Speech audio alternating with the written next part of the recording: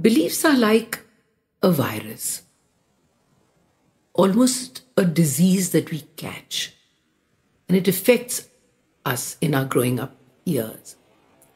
And believe it or not,